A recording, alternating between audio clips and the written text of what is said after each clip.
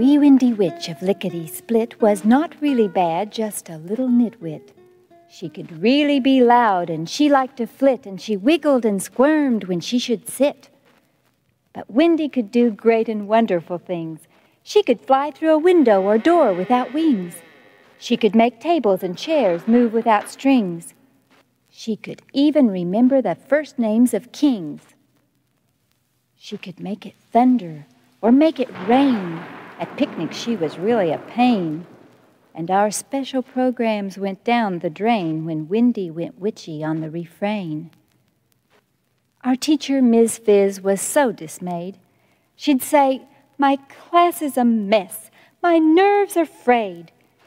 And with things at their worst, then in strayed the principal, Judge Fudge, who stayed and stayed, squinting his eyes and shaking his head and spreading a terrible feeling of dread on everyone except Wendy, who instead was fixing a curse on red-headed Fred. We children wouldn't be friends with her. We'd stamp and scowl and hide from her. We'd whisper mean old witch at her and turn our backs and run from her.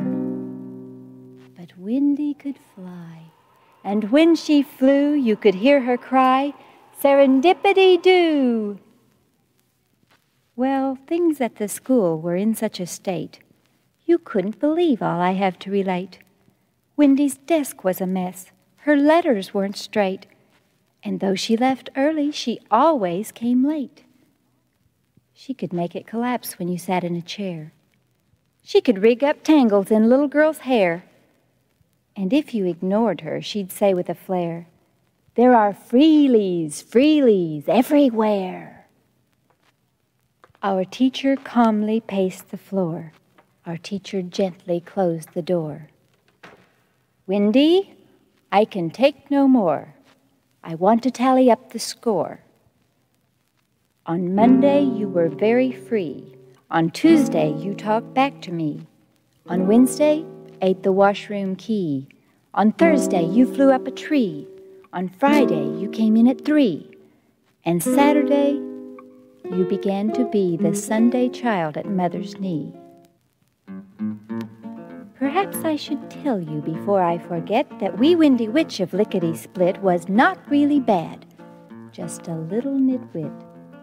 And so are we all now and then, just a bit. But we children wouldn't be friends with her. We'd stamp and scowl and hide from her. We'd whisper mean old witch at her and turn our backs and run from her. But Wendy could fly, and when she flew, you could hear her cry, Serendipity do! The fairy godmother, as well she should, came one day to our school and stood checking the roll as best she could, just to make sure that we'd all been good. Her kind and lovely face went pale as she scanned the teacher's gradebook scale We Wendy witch will have to fail. Her list of misdeeds leaves a trail. Wendy hung her head and scuffed her shoe, while we all left our seats to view our little witch. Could this be true that Wendy might be human too? She hid her tears and looked away, while Fairy Godmother went on to say, Think how you'd feel if no one would stay and be friends with you or ask you to play. What if all the children ran from you and stamped and scowled and hid from you and whispered mean old witch at you and turned their backs and ran from you? And if you could fly away in the blue, wouldn't you try serendipity do? We all tried hard to understand that Wendy just needed a friendly hand. We included her in things we planned, and she was the nicest witch in the land. That was the day the fairy godmother came to remind us to love one another.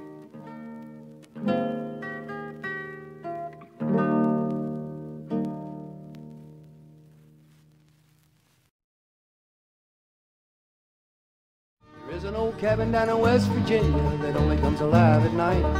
When the ghost fiddler's music is heard through the window from beyond the gray balloon light. The sad plaintive sound of little Jamie's fiddle comes rippling through the night air. And a few people dare to walk near the cabin and stay overnight or live there. Ghost fiddler